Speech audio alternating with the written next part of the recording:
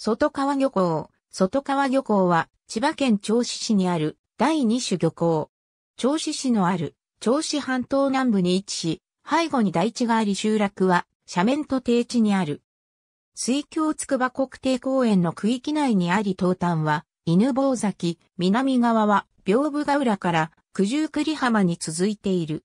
外川漁港は銚子半島先端部の南側に太平洋に面して位置し、北側に位置し、利根川に面する銚子漁港と共に古くから銚子市の漁港として栄えた。銚子川口付近は水深が浅く、潮の流れが急であったため、徳川家康江戸入府の後、江戸時代初期に入ると、徳川氏によって行われた、利根川の下下流の付け替えに関わる一連の河川改修として、利根川当選事業が行われた。これにより、利根川の水は太平洋への分水嶺を越えて日立川へ十分な水量が流され、太平洋へ注ぐ銚子川口までつながる安定した江戸の水運が成立し、銚子川口に位置していた銚子漁港には近畿地方から漁民が大量に出漁し、以後、イワシ漁が大量であったことから、銚子に定住する人々が増えるようになりかつ気づくことになった。江戸時代前期の漁師である、紀州藩領紀の国有田郡広村の崎山、次郎右衛門は、地元紀州で漁業を営んでいる際、海南に会い、下宇佐国海上郡、飯沼村や、高上村の人々に助けられる。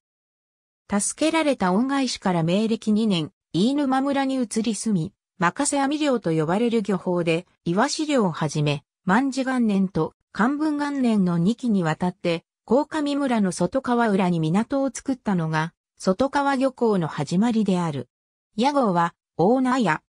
次郎右衛門は、故郷から多くの漁師を呼び寄せ、漁業と海運を営み、当時の盛況ぶりは、外川先見大繁盛と語り継がれている。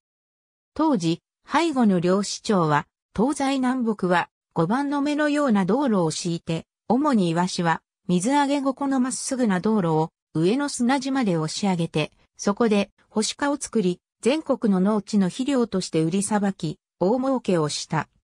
地溝は近くで採掘された安山岩や砂岩が使用され、この港は長い間ほぼそのまま使用されて、1922年に初めて全面改築された。1950年10月31日、三条、あまりの高潮が漁港を襲い49隻が流される被害を受けた。死者一人。現在の外川漁港は外洋へ直接出ることができる釣り船の基地としても利用されている。ここで水揚げされる金目鯛は銚子釣り金目と呼ばれ、千葉県のブランド水産品に認定されている。押見修造の漫画、悪の花で中村沢が母親と暮らす町として登場する。